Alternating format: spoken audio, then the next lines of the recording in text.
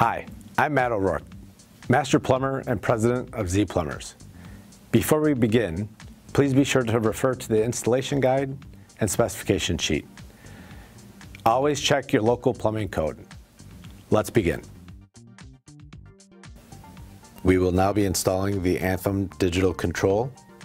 Included in the box is the control, 32 feet of cable, and mounting bracket. While installing the mounting bracket, we're going to put it in the position that we like it and make sure that we are level. We will mark where to install our anchors and to where to drill. Apply a thin bead of sealer or silicone in these three areas. We will install the anchors now.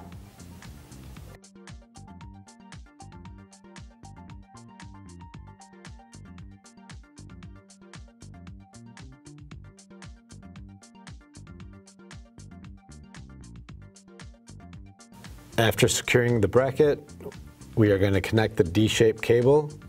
It is a one-way cable. Push it all the way till it stops. We are then going to push the cable into the wall, mounting the controller, slide it to the right until you hear a soft click. Then the unit will be locked into place. This concludes our installation of the Anthem digital control.